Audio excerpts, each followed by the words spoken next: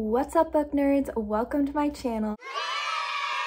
I am so excited to start this journey with you guys. I've been thinking about starting a booktube for months and months. I thought what better than to do my very favorite series of all time, A Court of Thorns and Roses by Sarah J Maas.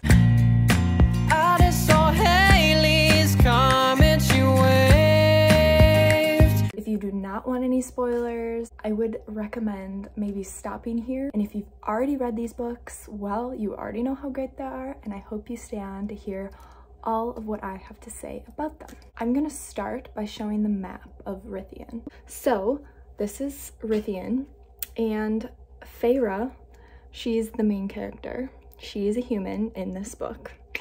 That's kind of a setup for later books but she lives below the wall. And then it goes to the Spring Court, whose High Lord is Tamlin, and he is a shapeshifter. He can shapeshift into a wolf.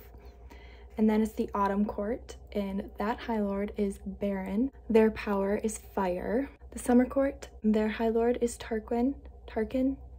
I'm a bad pronouncer of names, so during this talk, if I get a ton of them wrong, or if you think they're pronounced differently, they probably are. They have powers, all things to do with water.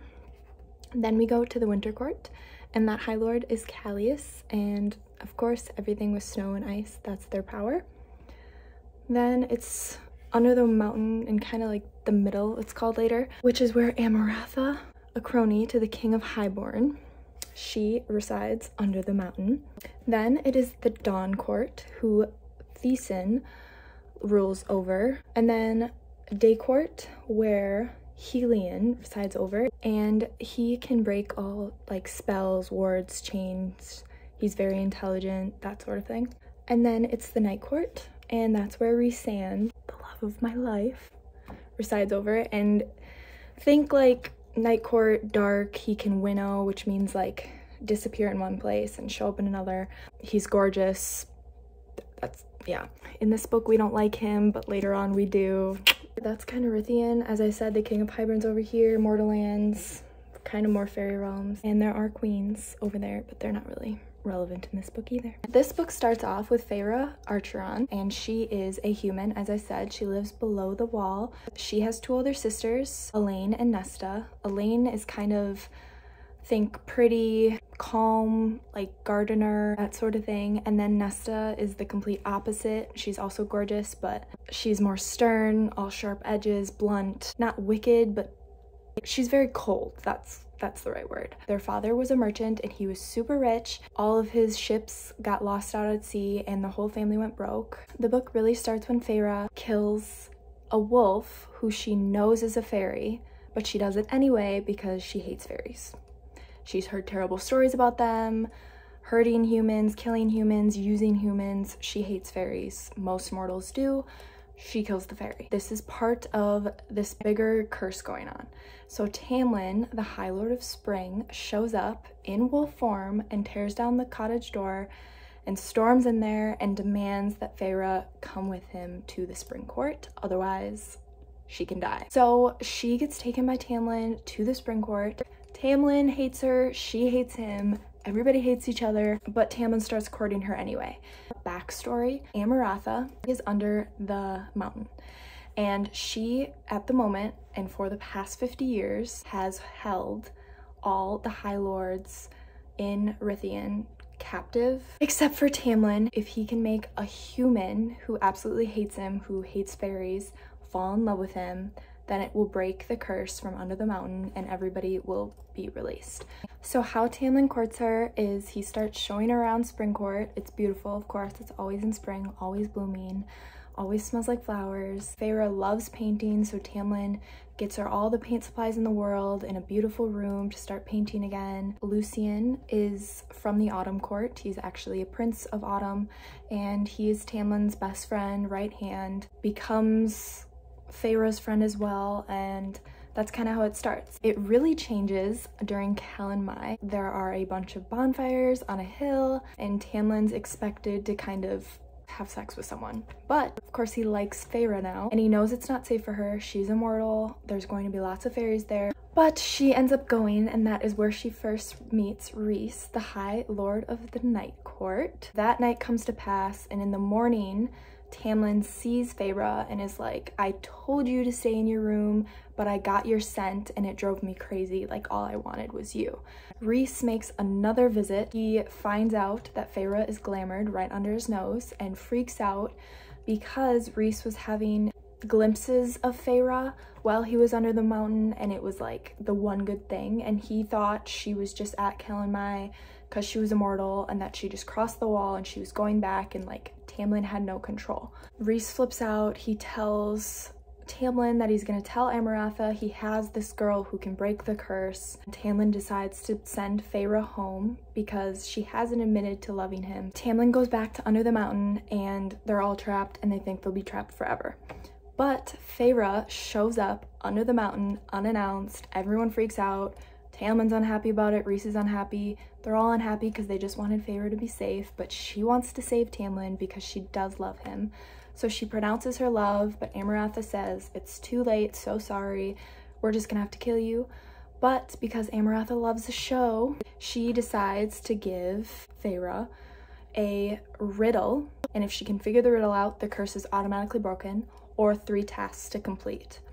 And then the curse will be broken, but not right away. The first one, she was up against a Middengard worm. She got dropped into the lair and she ended up killing the worm. The only person who thought she could was Rhys. The second task, she had to solve a riddle for practice for the one that she was already given. She got dropped into a pit. Lucien was also there and spikes were gonna impale them both. It was closing up on them and she had to choose one of three levers correctly and every time she went towards the first and second lever, her hands burned, but the third one, it was always okay. So she ended up pulling it and won. It was actually Rhys who kept helping her. The third and final task was for Feyre to kill three fairies the irony in the whole thing was that she didn't care before, she hated fairies, but now because she loved Tamlin and Lucien, and she realized fairies weren't that bad, she did not want to kill them, but she ended up doing it.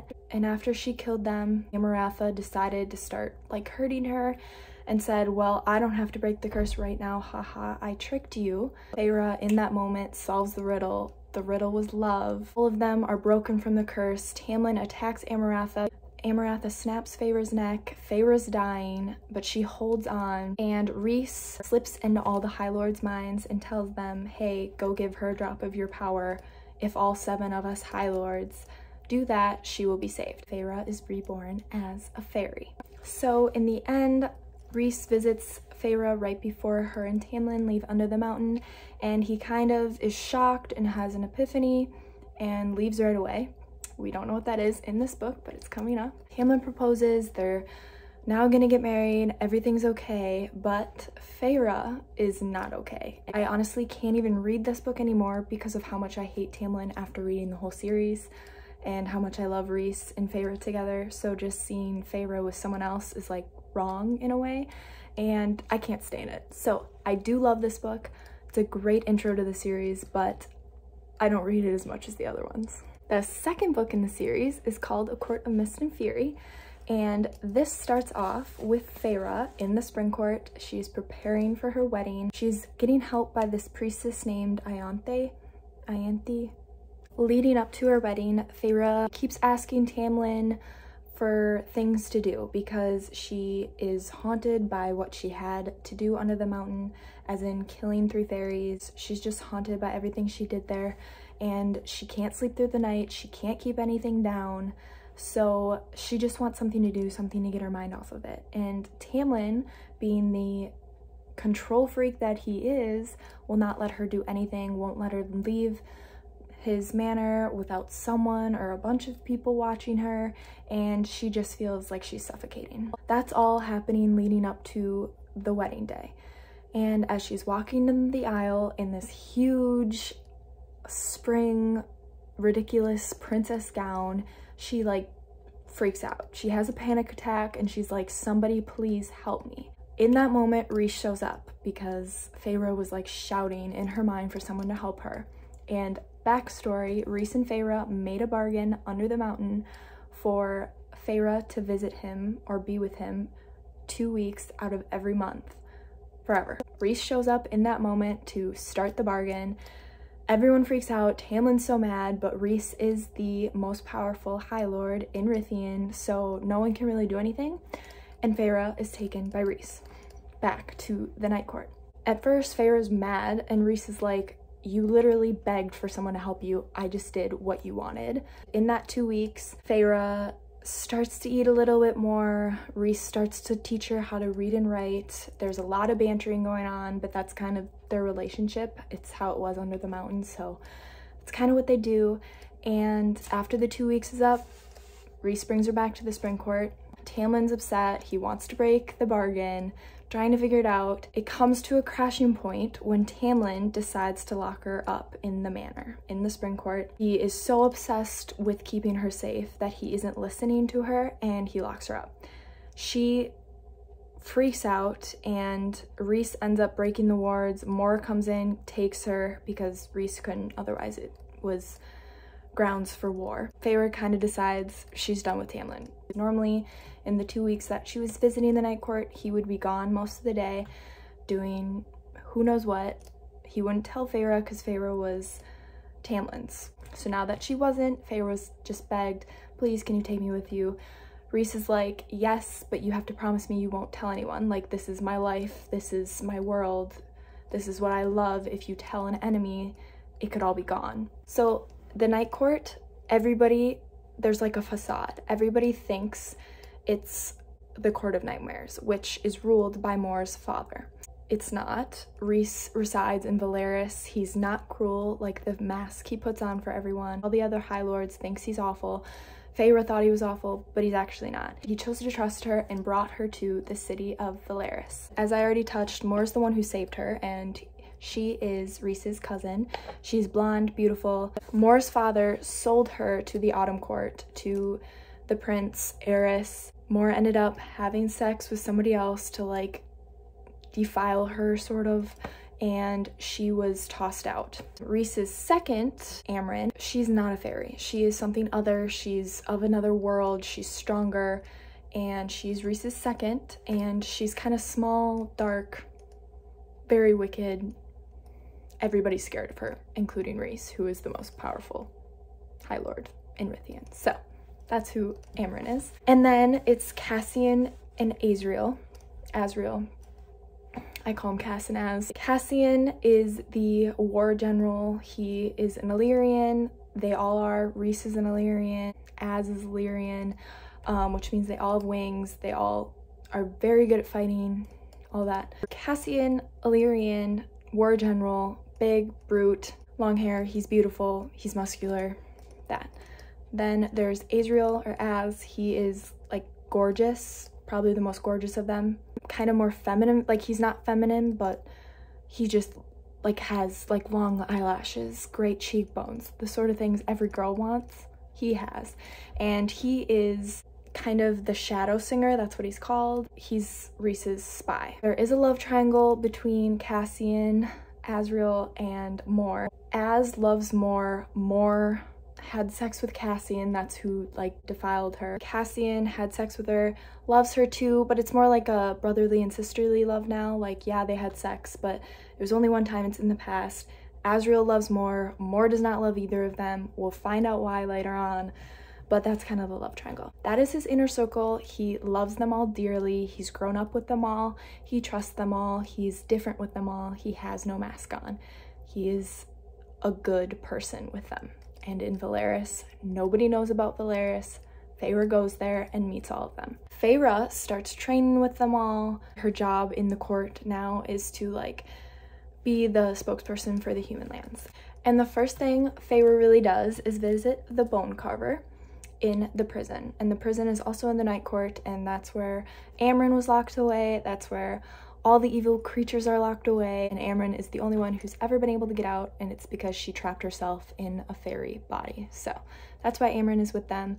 And Feyre goes to talk to the carver about the cauldron, which is what the King of Hybern is using to possibly hurt the human lands. Then Rhys is kind of testing Feyre because she was made and the cauldron makes things, is made, is of a different power. So Rhys is kind of testing Feyre and wants to know if she can detect made objects. So later on, she can detect the cauldron.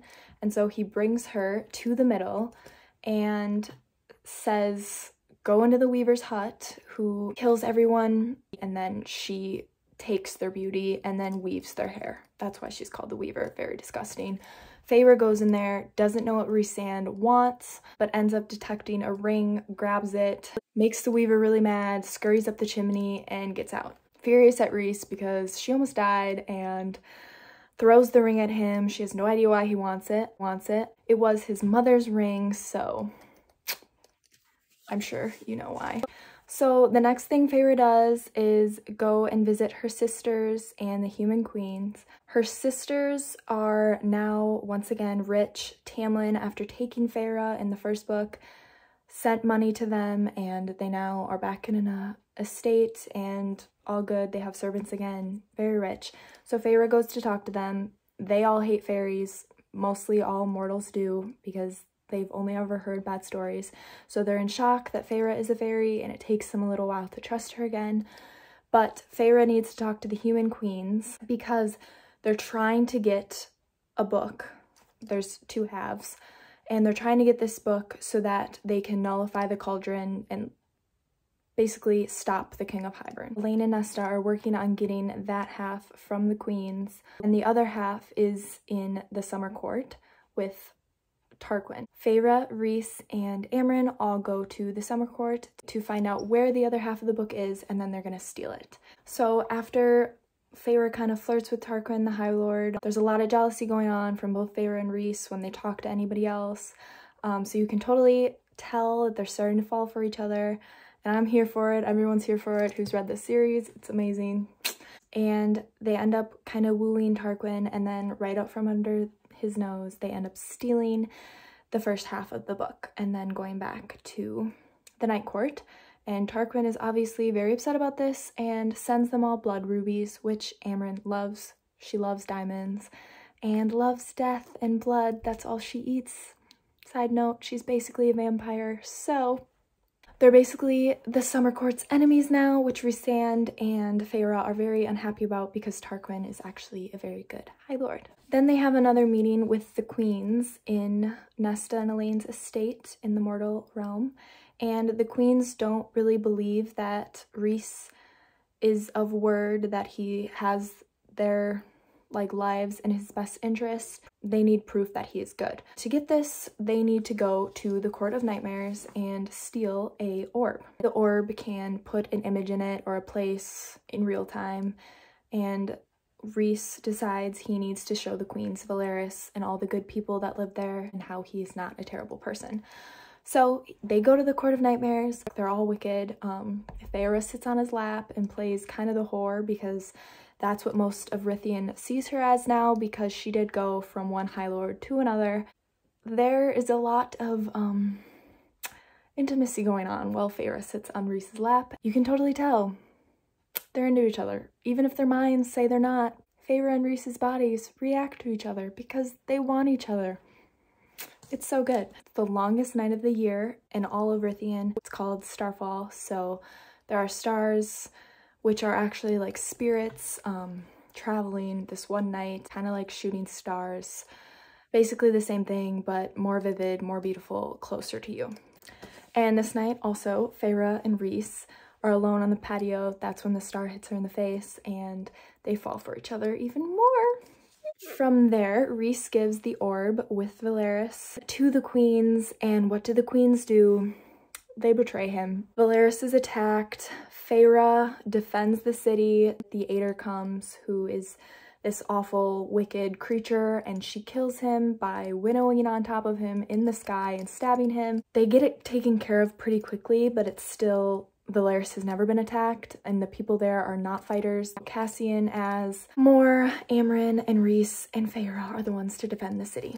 From there, Feyre and Rhys are training in the woods, and they start to kind of get more intimate. They start to kiss and Feyre one night while they're staying in this like rundown inn is like, I just need someone for fun. Like, Tamlin broke me. She's already said she no longer loves Tamlin Therese. She knows that, and she doesn't. She loved him when she needed a protector, but now she was strong and growing. She was keeping food down. Rhys was helping her grow, and she was helping Rhys grow, and they were both growing together, getting out of all the wicked things that they've seen and done. Feyre just wants a distraction, and Rhys is gonna pretend to be that distraction. So they're kissing, they kind of do some things. They don't have sex yet, but that's kind of where they are. In the woods, Rhys has been with his magic getting tracked by the King of Hybern, so he hasn't been really using magic as much. And somehow Hybern's cronies track them and shoot ash arrows through his wings. For those of you who don't know, ash arrows really hurt fairies in this book. Anything with ash does. And so Feyre decides she needs to trap the Suriel, this old being who basically knows everything. And to trap him, you need a cloak. So Feyre goes out, hangs a cloak on a tree and waits. Suriel comes and tells her how to heal Rhysand and also that Rhysand and Feyre are mates. That Rhysand knew that him and Feyre were mates. And so Feyre is pissed. She releases the Suriel, goes back to Rhysand, heals him, and then as soon as he's okay to winnow, has him winnow her back to um, the Illyrian steps and goes straight to Mor because she's just pissed off and says, Mor, I need to get out of here. Take me somewhere where Rhysand cannot find me. I need to be alone and think about what I just learned. And so Mor winnows her to this cabin and Feyre stays there for a few days. And she's just thinking like, I can't believe he didn't tell me. I'm so mad. But she realizes she loves him and she would love to be his mate. And he ends up showing up.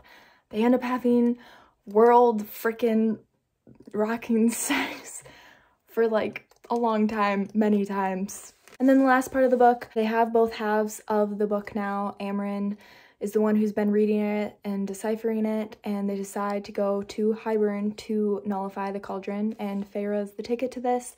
She needs to touch the cauldron and say the spell within the book that Amren has translated. Feyre touches the cauldron, but it's kind of a trap. It doesn't work. She can't nullify it and the King of Hybern is ready. Tamlin and Lucien are there. Tamlin has sold out himself to the King of Hybern, kind of allianced himself so that he could get Feyre back. Nesta and Elain show up. The King of Hybern throw them into the cauldron. Both of them are made into fairies. Elain is given a gift. She goes first. She's given a gift. We'll find out what that is later. And Nesta takes a gift. Also, we'll find out what those are later in different books. And then everything's going to shit basically. Cassian is hurt. He can't help Nesta. Side note, Nesta and Cassian, yep. Lucien realizes that Elain is his mate. Lucien wants to take Elain. Feyre's like, no, and they all need to get out of there. But the King of Hybern has them all trapped. They can't get out. So Feyre asks for him to break the bargain between her and Rhys they kind of concealed their whole mating bond. The King of Hybern breaks this bargain. Feyre acts like it breaks everything. She doesn't know Rhys. He's put her under this spell that she still loves Tamlin. Tamlin, take me home. Little did they know that when the King of Hybern broke the bargain, Feyre actually broke all the wards that held them there. In that moment, she tells them all, like, get out. I'm gonna stay with Tamlin. So they all winnow away. The King of Hybern is furious but nobody understands that Feyre is the one who did it. No one realizes that Feyre and Rhys are mates and maybe even more. So Tamlin and Lucien and Feyre all go back to the spring court. King of Hybern still very much alive. They couldn't do anything to the cauldron. That's kind of that. They find out at the end of this book that Feyre is not just Rhys's mate, but now wife and high lady of the night court. Go boss ass bitch. She is now going to be the spy. So this is my favorite book of the whole series, my favorite book in the entire world. I love Feyre and Rhys's love story of how they like lift each other up and just are always there for each other and are perfect for each other. Some of the scenes just between Feyre and Rhys are amazing and I've read them probably a hundred times. I kid you not. If I'm sad, I read a part of this book. If I'm mad, I read a part of this book. If I can't find anything to do, I read a part of this book. That's how much I love this book. Like, my favorite book of all time. The next book is A Court of Wings and Ruin. Feyre is in the Spring Court. She is the High Lady of the Night Court. Feyre kind of sticks to herself and slowly kind of unravels the Spring Court from within. She goes around the towns and with the sentries and kind of makes them all doubt Tamlin and his rule. And while she's there, Ianthe, or Ianthe, the priestess is still there and she now hates her because she found out that Ianthe kind of tried to rape Rhysand and probably has done it to other men and so now of course she hates her. Lucien is there and Lucien wants Elain. Lucien doesn't really trust Feyre. He kind of knows something's off but at the same time he wants his mate and to get his mate it's through Feyre so he kind of just has to pretend and sit there the nephew and niece to the king of Hybern are there, and then Jurian. Jurian is immortal. He was kept by Amarantha for years and years in a necklace. Now he's working with the king of Hybern after Under the Mountain. They're all there. And Feyre leaves the spring court by smashing Ianthe's hand, killing the prince and princess, and then Lucien is there and is like, take me with you. I want to go back to the night court with you. I want my mate, Elain. And they go on land and they're going through the autumn court. Feyre was poisoned and so she could not winnow. She was not strong enough. That's why they had to travel on land. They went in the autumn court and they're almost out of the autumn court, but then the princes of autumn i.e. Lucien's brothers who hate him are there and they finally get away and escape into the winter court. But Lucien's brothers follow them and they have this big fight on the ice. Az and Cass show up and save the day and then they all go back to the night court. They go straight to the um, townhouse in Velaris. They're all talking and then Rhys shows up. Feyre like falls to the ground out of joy for finally seeing her mate and they do some stuff and Rhys tells everyone to get the hell out of his house for a while because you know. So after they kind of do their thing. Feyre learns the King of Hybern offered the queens immortality. They all went into the cauldron, but because Elain and Nesta, Elain was gifted something, Nesta took something, the cauldron was mad, retaliated on the queens. It did not go good for them. Feyre immediately goes and sees her two sisters because they were brought back to the night court. They're at the House of Wind. Nesta is, you know, pissed off, but no one really knows what her power is and she won't tell anyone.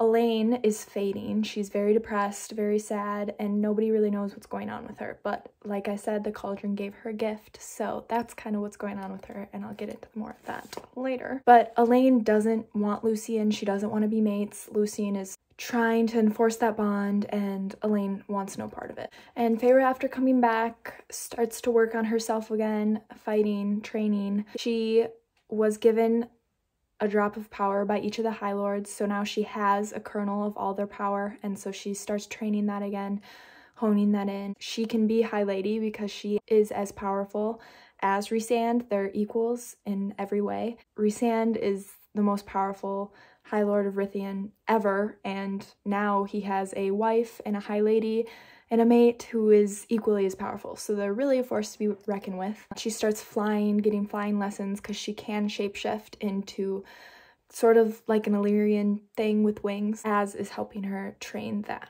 The next part, she goes to visit the bone carver again in the prison because they know a war's coming up and she knows she needs as many people on her side. So she decides to recruit the bone carver.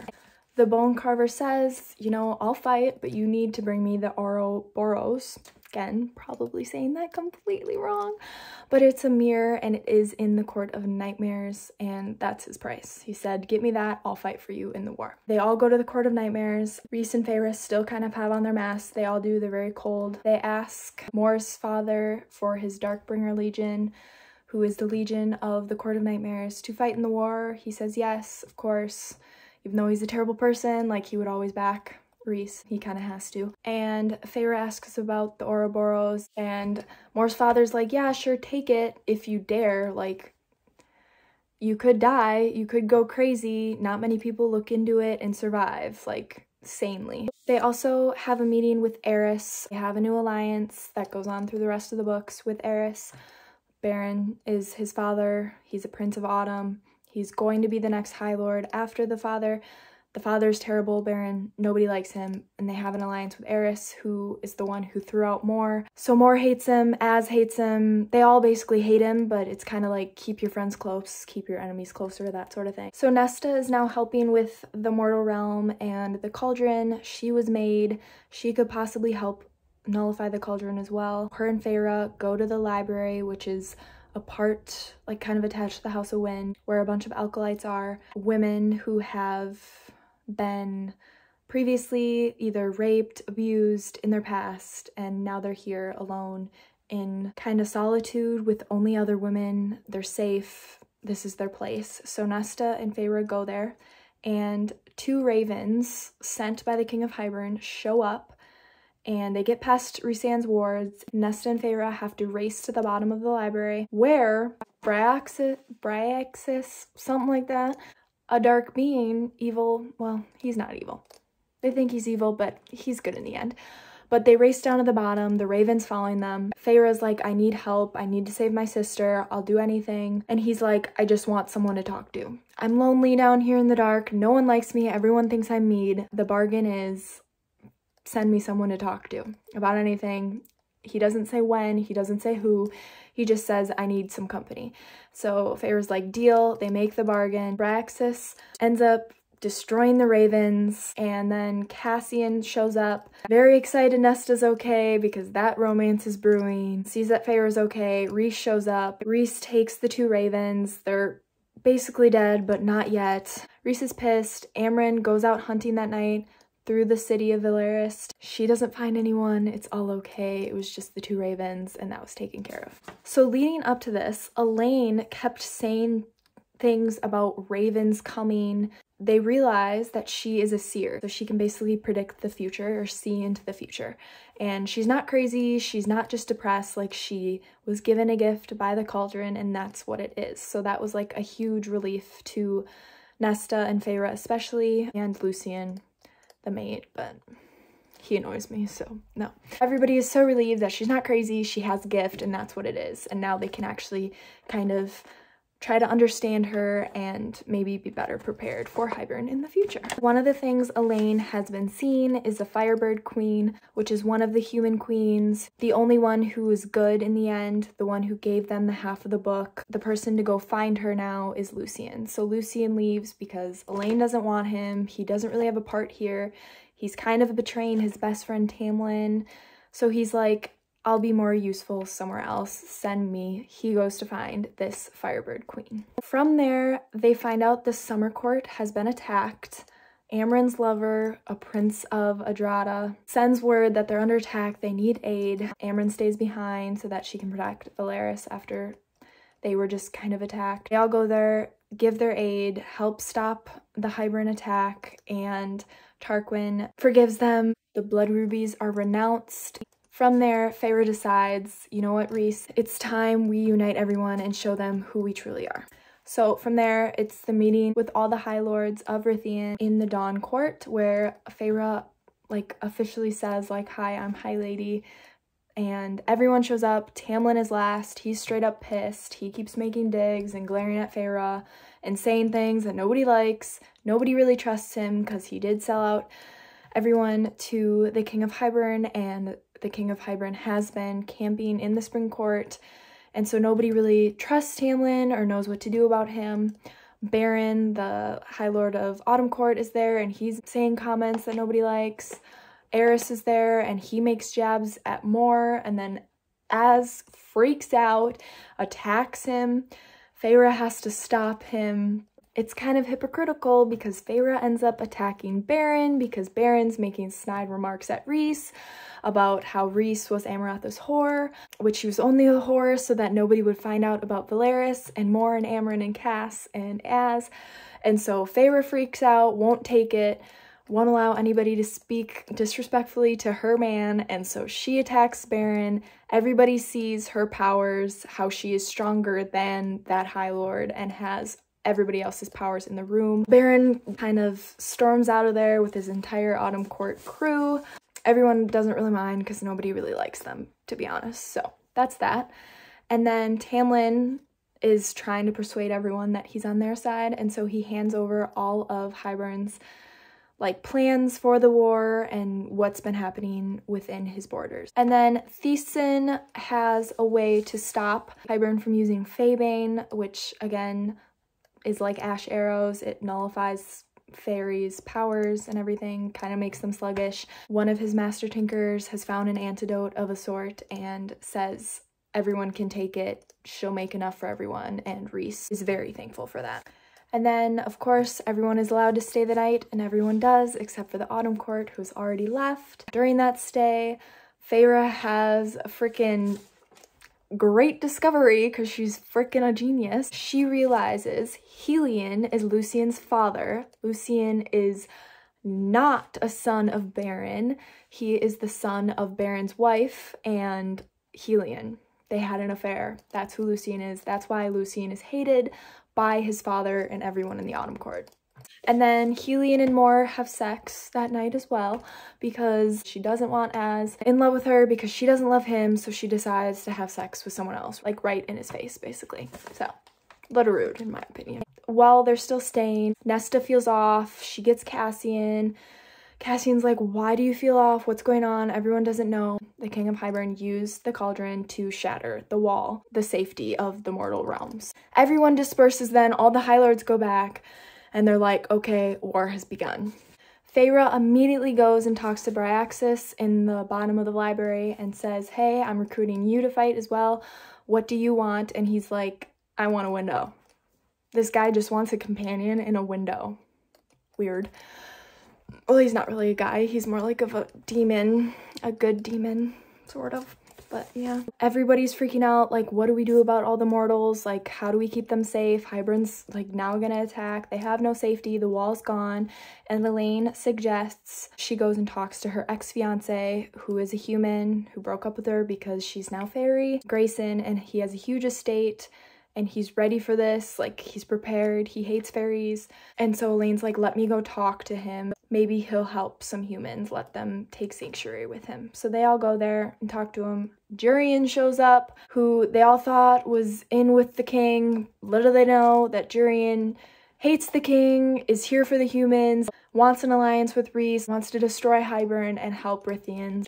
Then Hybern starts marching on summer. The Illyrian legions stop them, but it was just a distraction. They're actually going to winter. They have to kind of put up a glamour in a sort to say like, oh, our army's here, but they actually race to winter. But when they get to winter, they realize, oh, this isn't his entire army either.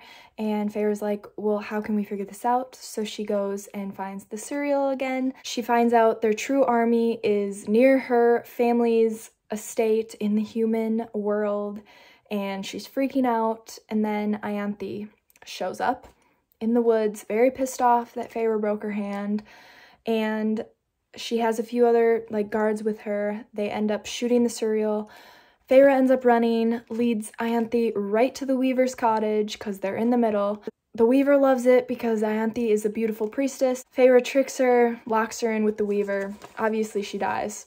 Feyre goes back to the Suriel and tries to save him, but it, he's too far gone. He's dying.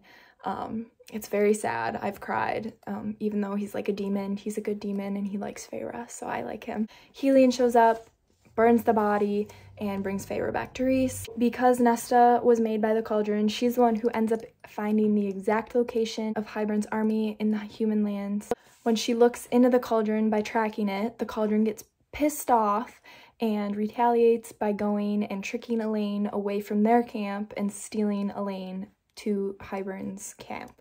Feyre and Az end up going to get her. Az goes to get her. Yeah, they're adorable. Anyways, I mean, nothing's really there, but it's there later on. I hope Sarah writes a book. Sarah, if you're watching this, please write a book about Az and Elain because they better be together. That's all I'm saying. So Feyre decides to disguise herself as Ianthe because nobody knows that she's dead yet and she is part of King of Hybern's like army. Her and Az go in there, steal back Elain. Tamlin ends up helping and defending them and helping them get out of the camp. And then Feyre goes back to the camp and has a long talk with Mor and is like, why don't you love Az? And Mor admits that she's a lesbian to Feyre and that she could never love either Cassian or Az because she likes women and it took a lot of strength to do that, so go Mor. All night, all the High Lords or anyone who could winnow and had the power went to different human homes and told them Hybern is coming, you need to get to safety, and would winnow them to safety or just tell them, like, get out of here, go hide. Then Feyre decides, okay, I need to face the Ouroboros because I need the bone carver.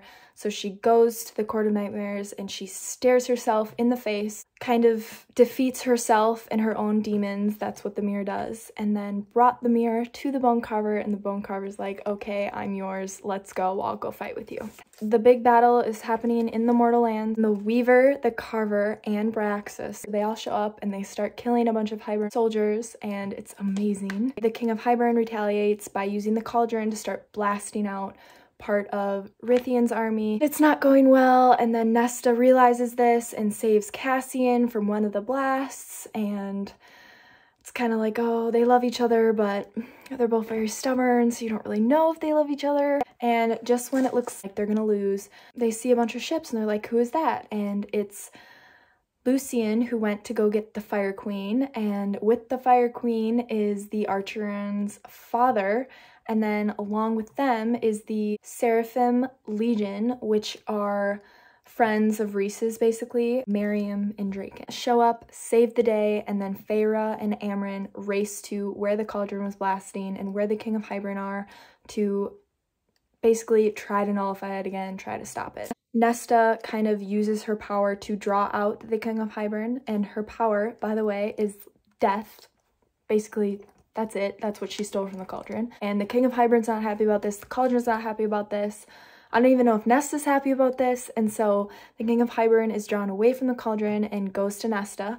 Nesta and Cassian are together. The King of Hybern is basically killing them. And then Nesta's father shows up, who she never really had a great relationship with. The King of Hybern, of course, kills him, but in the moment he saved them. And then King of Hybern is going to kill Cassian and Nesta next, but Elain shows up out of nowhere and kills him. So that is what happened to him. Little sweet Elain murders the king of Hybern. Amren tells Feyre, like, you need to unleash me on the entire Hybern army, like, I can destroy them. And so Feyre does that, and then they realize the cauldron is part of the world, and if you destroy the cauldron, which is kind of what Feyre did, if the cauldron dies, the world dies, along with everyone in it.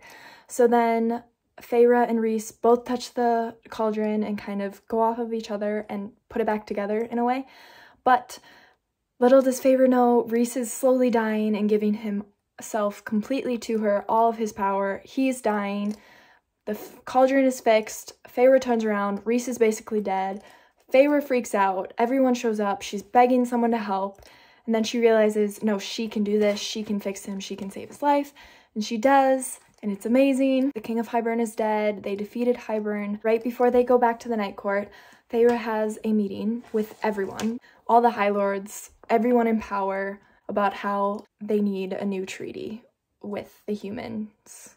There's no more like all this terrible stuff going on between fairies and humans. They need a new treaty, they need a new alliance, and they need a new and better world. My opinion on this book, very good, lots of war. Again, this is my second favorite book in the series probably. I just love Feyre and Rhys, like they're forever my favorite couple uh, like ever. So even though they're not real, still love them. Next book in the series, A Court of Frost and Starlight. As you can see, very short compared to all the other ones. It's kind of just an interim book, basically just rebuilding. Elain's better, Nesta's doing terrible, Feyre starts to paint again, and her and Rhys are great. It all is kind of around the winter solstice, which is kind of a party where you get with family and friends and there's eating and presents and just a good time, kind of like Christmas to us. The winter solstice is also Feyre's birthday, and so Rhys kind of spoils her with that. Um, as Cass and Rhys have an annual snowball fight at the cabin because they're like five years old immature little men, but it's fine. And then it kind of just ends with Feyre's final present being let's have a child, Rhys. Like, I'm ready to be a mom. I'm ready for you to be a father. I'm ready to have a family. And Rhys's final present to Feyre is to build a huge mansion, like on the river to the ocean in Velaris. So that's how that ends. And I really like this book. Of course, how can I not? Anything by Sarah J. Maas. I love the final book in the series so far is A Court of Silver Flames. This is in Nesta and Cassian's perspective. It is their love story, as I've been kind of getting at. They are into each other. It starts out with Nesta being completely lost. She um, hates herself, hates that she couldn't save her father, hates the King of Hybern and what they did, um, hates the cauldron, hates a lot of things, and kind of loses herself to booze and boys. And that's how this starts. And Feyre decides, enough is enough. I'm kicking you out of Velaris. You either have to go back to the mortal realm, which Nesta won't because she's now a fairy and she really doesn't have a place there, or she can move to the House of Wind and work in the library with the Acolytes and earn her keep, basically. And then the other part is she also has to train with Cassian in the Illyrian ste steps or steeps. Nesta retaliates. She kind of puts up a fight. She doesn't want to fight in the Illyrian ste steps or steeps. A bunch of terrible males are staring at her and she doesn't even know how to fight. She doesn't want to. And Cassian realizes this and says, you know what? Never mind. Sorry, I made a mistake. Let's train in the ring at the top of the House of Wind. Up there, let's train. Nobody has to watch you. And so then Nesta gives in and starts training. Nesta is very wicked and everything, but she also loves reading just like me and everybody watching this and she loves romance novels so that's kind of what she spends her time doing. And she makes friends with the house actually. The house of wind is like alive. Makes friends with the house because she gives the house book recommendations and things to read and the house is also a romantic. So she makes friends with the house and that's kind of like her first friend. There are also steps in the house. There are 10,000 steps and throughout this whole book, Nesta keeps going up and down them. And like at first, she only makes it to like 101 steps or something like that. She ends up by the end, of course, making all 10,000. And it's kind of what she does every night before she goes to bed or in the morning. Like whenever she needs to, she does it. And she doesn't really miss a day. The first time she tries the steps, it's because she wants booze or she wants boys and she can't get to the city without going down the steps because that's the only way. Unless, of course, you can fly or winnow, but she can do neither of those things. So she keeps going down and up the steps. Of course, at the end, she no longer needs booze or boys, but after the house, Nesta's second friend is Gwyn, who is an acolyte in the library. Used to be a priestess, not a terrible one like Ianthe, but that's her first friend in the library. And then her second friend is Emerie, who is a shop owner in the Illyrian Steps or Steeps. She is also Illyrian, and those are her two friends. They all kind of horrors from the past, and that's kind of why they don't judge each other and why they are such good friends. So I think that's really important. And all throughout this book, Nesta and Cassian are having some really, really rough sex. And I don't know if I can say that, but they are, and it's quite something. Yeah, so that's in here. One of the human queens, named Briallyn, is very upset because she was the most beautiful of the queens, and when she went into the cauldron, the cauldron took her beauty, and so she's pissed off. She hates Nesta because she blames Nesta because it kind of is Nesta's fault. Nesta stole something from the cauldron. The cauldron was pissed off and punished Briallyn and all the other queens. Briallyn's kind of against them all, wants to find the dead trove, which are three made items by the cauldron. It's the crown, which can influence anyone, the mask, which can raise the dead, and the harp, which can open doors, space, and time, like open anything, basically. So Briallyn, the queen, alliances herself with Beron, the head of the Autumn Court, because Beron hates everyone. I don't know why. And then also this old, like, Death Lord, Koschei, who is bound to a lake, who's using her. He wants to use the dead trove for himself to be unbound to the lake. So Briallyn wants the dead trove to find the cauldron to fix herself and return her youthful beauty. And Koschei is using Briallyn to use the dead trove to unleash himself from the lake he is bound to. And Beron is just an evil, awful person, so that's kind of what he's doing yeah. I don't know. All the Archeron sisters, they can also find the dead trove, just like how they could find the cauldron and other things that are made, and it is decided that Nesta is the one who needs to find it because Feyre is pregnant. Ah! I'm so excited about that. Gwyn is the first to sign up to train with Nesta, and then Emerie shows up, and then a bunch of other acolytes, and Cass and Az start to train them to become Valkyrie, which used to be a group of Illyrian women, sort of, just like them, but all women, who honestly were tougher and more badass, so go them. And then Nesta goes with Az and Cassian to the middle to find the first item of the dead trove. They go to the bog of Oorid, which is in the middle. So Eris had like part of an army or a few soldiers who got taken and they show up in the middle and attack Az. So Cassian drops Nesta off and says, don't go anywhere. He goes to save Az. But Nesta, of course, does not listen and she gets up and then she gets taken under a lake by a kelpie. It's okay because she ends up like bringing the mask to her, summoning the mask because she was made so she can summon an object of the dead trove, and then brings all the dead people under the lake alive to kill the kelpie, and she raises from the water like a goddess, and it's amazing. Cassian's like, oh my god, I'm in love with her. Then Helion is called to secure the wards on the mask because Nesta can just walk on in, so anyone who's made can just walk on in. Feyre doesn't know this yet, but she has like a normal fairy birthing canal and the baby has wings, so she needs an Illyrian birthing canal, otherwise the wings will get stuck and kill both her and the baby.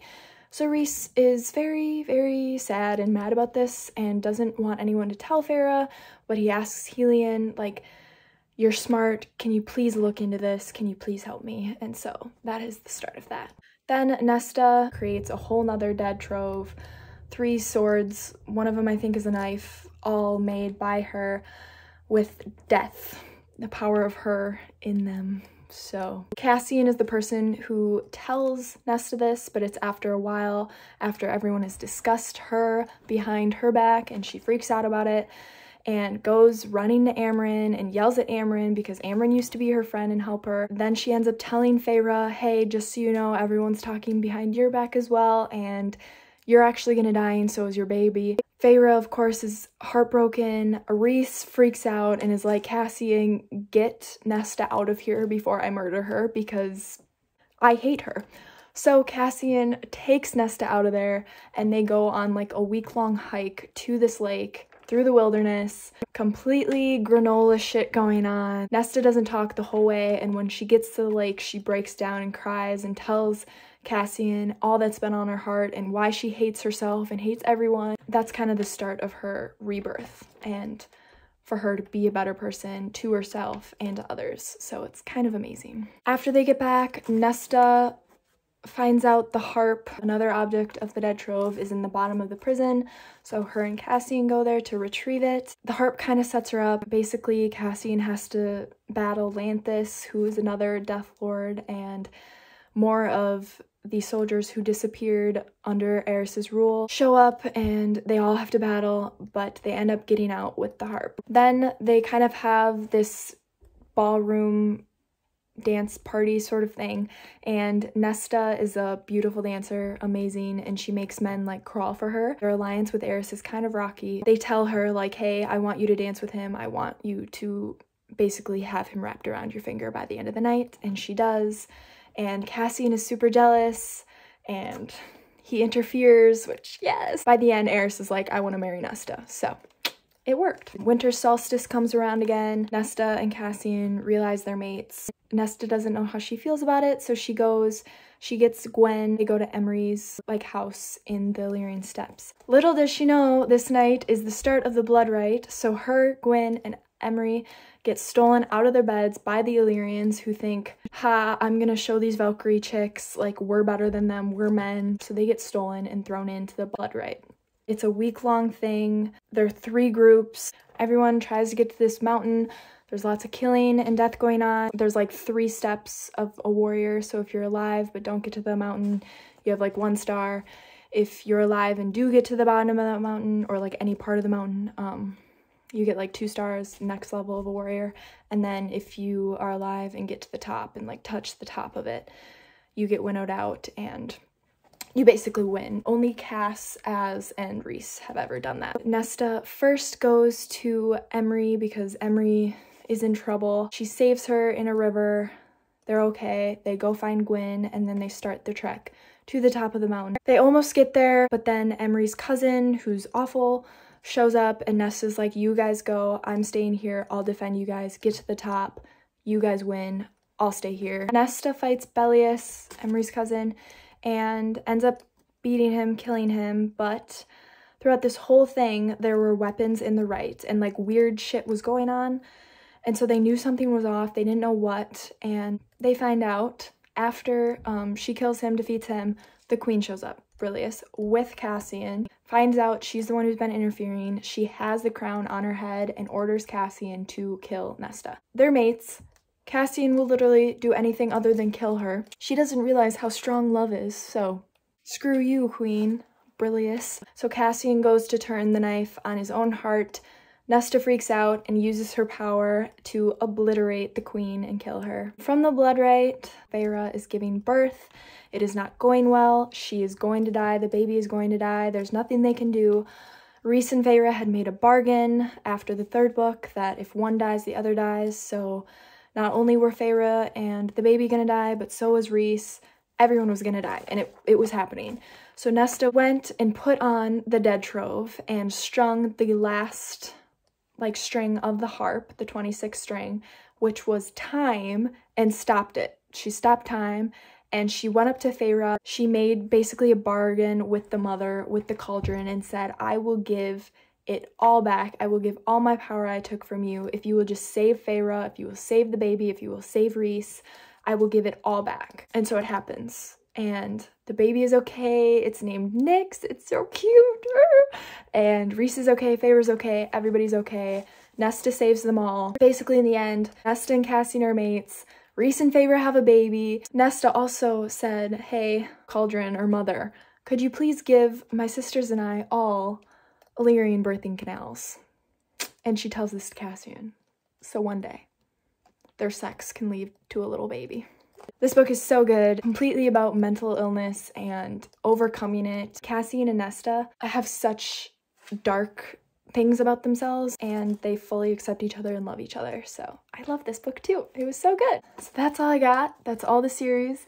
I just gave like a very in-depth summary of each book, but there's so much more to each book and it's so much better when you read it. They are phenomenal. I love them. I've read like the whole series front to back probably four times and then Mist and Fury I've probably read, kid you not, 20 times. I love that book. All of Sarah J Maas's books are phenomenal. All of them. I don't know if you guys have seen The Fault in Our Stars. I feel like you have, but when Hazel Grace Lancaster's like, I would literally read your grocery list to her favorite author. That's how I am with Sarah J Maas. Like, I love her and her writing so much. I would literally read her grocery lists. So, she's amazing. These books are amazing. Highly recommend them. Please comment down below if you liked it or what you'd like to see next. I've read most things. If I haven't read a book and you want me to do a book review, I'll read it because I love reading. Now I'm gonna go and you book nerds are gonna go read the series or you're gonna reread it or you're gonna read a different book because that's just what we like to do. Thank you so much for watching. Comment down below if you liked it. Comment down below what you want next. Bye!